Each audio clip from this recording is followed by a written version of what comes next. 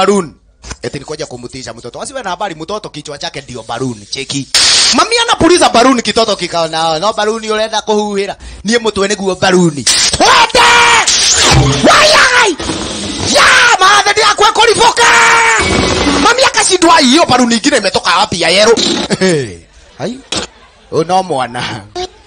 Kana nä kä indo niä mathä ngoragwo ndä hai? Reke njuge ndinona å ndå mathä na kumbe akajisaulisha. umbwa ndiarierewa Eh, no nä komegi. hiki ni kitoto kingine hatari hatari. Wazi. Right. Kumbe sasa hapa roki aliingia akiwa aina ya inzi. Cheki umbu hatari.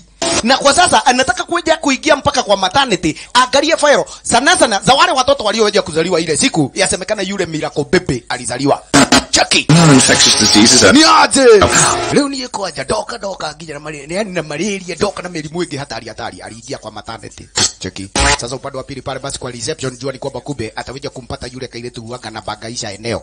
Ndiye huyu mami. Asanta. Nikio kile kailetu nani ndakwira ngokiambukiza malaria makuguruka. Angalia. Aliingia hapa jua ni ubu. Kisha na maana maskini pale kailetu acha nikuonyesha waya kai yes saitani hapo hapo aka kako na malaria ya kuwa mwenda wazimu Chukuza. alafu roke anabigirika pale ana